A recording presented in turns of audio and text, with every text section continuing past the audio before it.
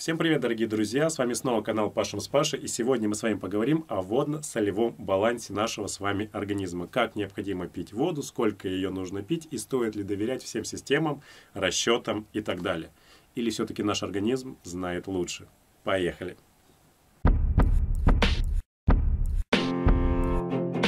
Самом начале я хотел бы сказать, что это видео является всего лишь рассуждением на тему воды, и отталкиваюсь я лишь от своего опыта, от опыта своих клиентов, от четырех лет университета, от множества статей, видео на эту тему. В общем, доверять мне на самом деле не стоит и верить мне не стоит. Но тем не менее мы с вами все равно порассуждаем. Как вы знаете, наше тело состоит на 60% из воды, на 34% из органических веществ и на 6% из неорганических. А раз 60% это основная масса, то мы именно об этом с вами и поговорим. О воде. Но если пробежаться по просторам интернета, либо просто пообщаться с людьми, которые вас окружают о воде, то вы поймете, что огромное количество теорий, правил, которые все придумали. На самом деле, по большому счету, они верны. Нашему организму требуется 2-3 литра воды в течение дня. Но вопрос о том, как употреблять воду эту и необходимо ли заморачиваться на эту тему, мы с вами и поговорим. И начнем мы с вами с того, что наш организм – это сложная саморегулирующаяся система, которая может управлять нами как осознанно, так и неосознанно.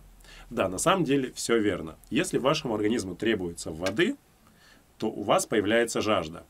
Вам хочется воды, вы так думаете, да? Но, возможно, вам хочется чай. Возможно, вам хочется кофе, газированную воду. Возможно, вы хотите фруктов, либо просто поесть супчику. Ведь это не вода, но вам может это хотеться. Здесь на самом деле в этом вопросе все зависит от ваших привычек и от того, к чему вы приучили свой организм.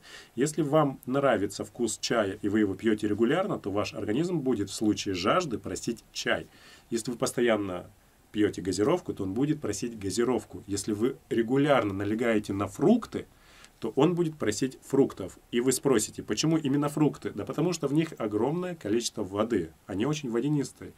Огромное количество сока получается при выжимании тех же самых апельсинов, яблок и так далее. Даже суп является олицетворением воды для нашего организма.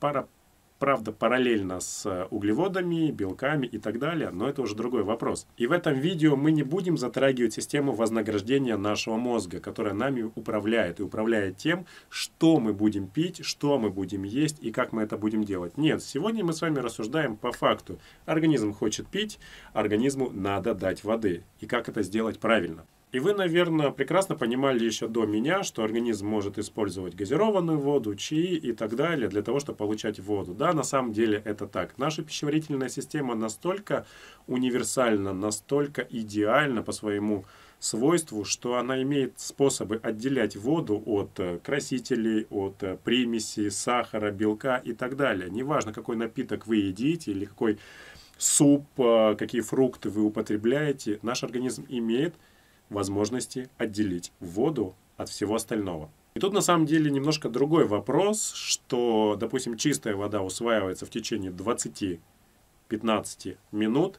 а вода с различными примесями значительно дольше, значительно дольше усваивается. Но об этом, обо всем мы с вами поговорим в следующих видео. И я хотел записать одно видео на тему воды, получилось три. Сегодня первое.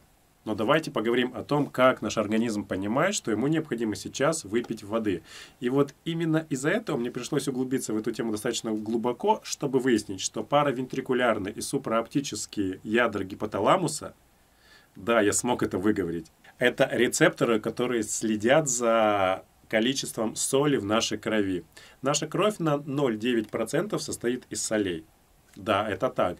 И когда вы двигаетесь, когда ваш организм отдает воду, количество соли может меняться, становиться 1,0, 1,1, 1,2 и так далее. Эти рецепторы дают сигнал в головной мозг, и у вас появляется жажда.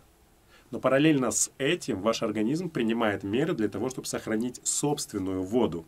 И это происходит посредством такого гормона, как вазопрессин. Это антидиуретический гормон, который позволяет меньше выделять мочи, меньше отдавать воды и сохранять ее внутри нашего организма. И даже уже на этом этапе становится все понятно, все, что все очень сложно, очень непонятно, и наш организм реально знает лучше. Ведь наши с вами предки не заморачивались о том, сколько пить воды, какими объемами, необходимо это делать каждый час по стакану, либо что-то другое. У них были периоды, когда они абсолютно не получали никакого доступа к воде. Возможно, они получали воду из мяса того же самого свежеубитых животных, они получали это из растений, фруктов, овощей и так далее.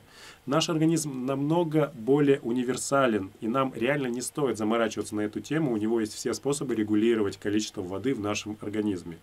А, с другой стороны, нам необходимо понимать, что происходит подмена, но об этом мы также поговорим в следующем видео. И подводя итог всего вышесказанного, я хочу сказать, да, реально, наш организм оказывается все-таки умнее и универсальнее, чем, чем нам с вами кажется.